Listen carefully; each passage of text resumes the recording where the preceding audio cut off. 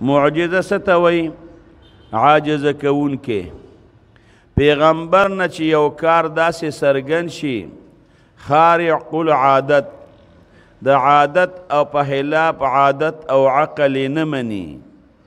د هغې مثل څوک پیش کولی نه شي هغې ته ویل کېږي معجزه دا الله پیغمبر له ورکړي د پیغمبر په پیغمبره باندې دا یو نخی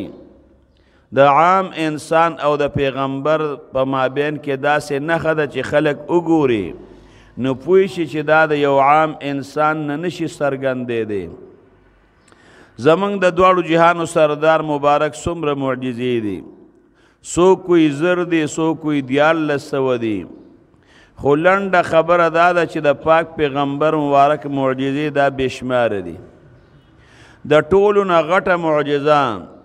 د دواړو جهانو سردار مبارک هغه قرآن حکیم دی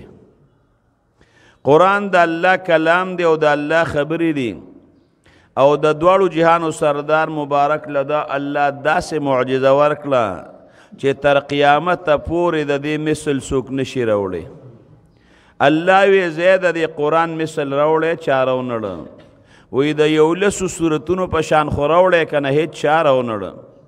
وې د یو رکوټي صورت په شان صورت خو جوړ کې د هغه وخت نه واله تر قیامته پورې د یو رکوټي صورت په شان صورت څوک نشي جوړولی دا د دواړو جهانو د سردار مبارک معجزه شوه بل د دواړو جهانو د سردار مبارک د زمانه نه واله اوس پورې قرآن په خپل اصلي شکل کې محفوظ دی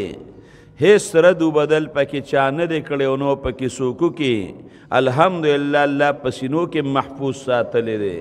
دا د دویم د دواړو جهانو د سردار مبارک دا بله معجزه شوه